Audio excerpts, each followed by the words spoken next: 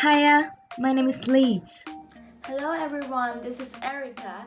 I'm We are the Via team Team of Crossfire Crossfire Star Content Content Creator Creator 2018. We are both Vietnamese and we came to the UK to study.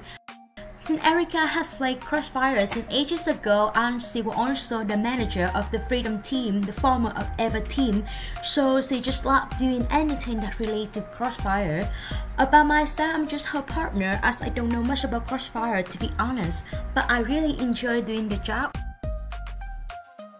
There are a lot of challenges as we are not professional gamers and in the UK where we live in, Crossfire unfortunately is not very popular. Therefore, to complete our monthly missions, we had to put a lot more effort. For example, a few months ago, Erica has to travel to Germany to do the interview with some F3 team members. But we still enjoy doing this as we get a chance to meet new people and join many exciting tournaments. We also would like to thank Smilegate for providing us with these opportunities and thank the gamers for supporting us in completing our monthly missions.